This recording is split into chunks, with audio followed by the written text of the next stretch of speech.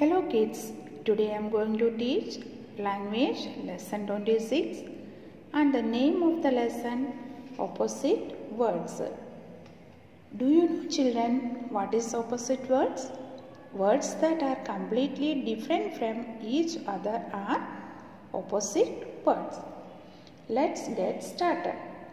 Underline the words which show the differences between ship and a shoe. First sentence Sheep is big but a shoe is small. What is the opposite of big? Small. Then second sentence Sheep is tall but a shoe is short. What is the opposite of tall? Short.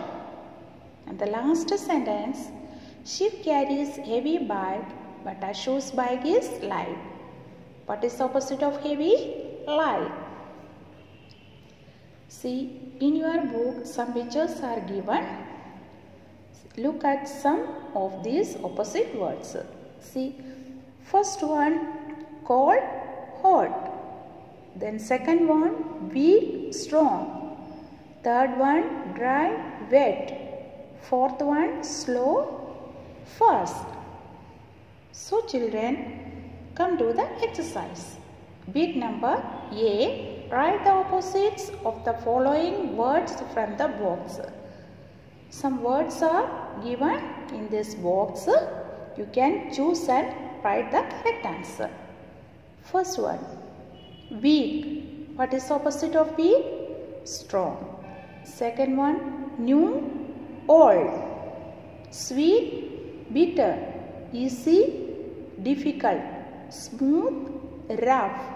High, low, top, bottom, early, late. Then come to the next exercise.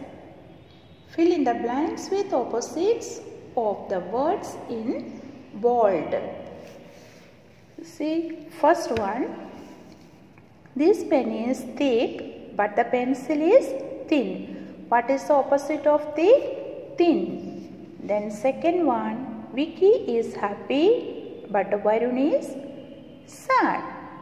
Third one, the milk is cold, but the tea is hot. Fourth one, a deer runs fast, but a tortoise is slow. Fifth one, my glass is empty, but yours is full. What is the full, opposite of empty? Full. The red apples are same.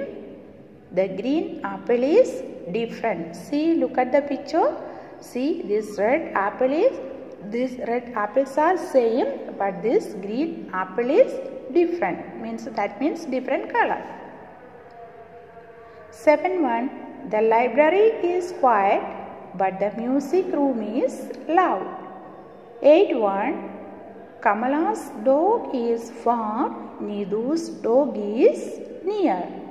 Ninth one, this chair is hard, but the sofa is soft. And last one, my fishing rod is small, but my father's fishing rod is big. Hope you all are understood this lesson. Thank you children.